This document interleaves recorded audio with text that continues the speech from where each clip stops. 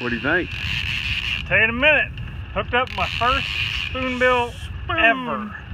Ever. Ever. I live in Oklahoma all my life and heard these fools talk about it.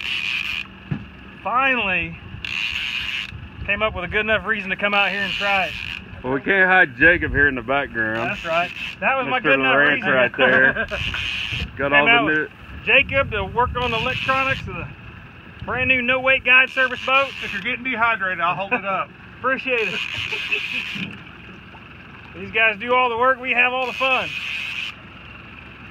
Jacob, what do you think of the electronics on the no wake guide service? Well, I'm not gonna lie. He's got a carbon 16 at the dash, and he's got a carbon 12 at the bow. Two of the greatest units on the earth.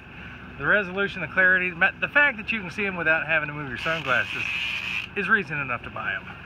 Awesome. Get back over here. Easy coming.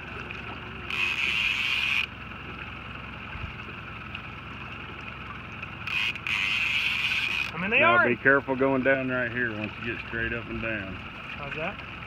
Be careful going down because if you drop that tip without any pressure, it'll throw that hook.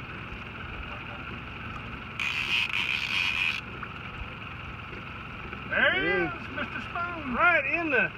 Right in the spoon. That's them special plankton hooks. They're plankton flavored. It's a male. You get them at Krusty Krabs. Yep.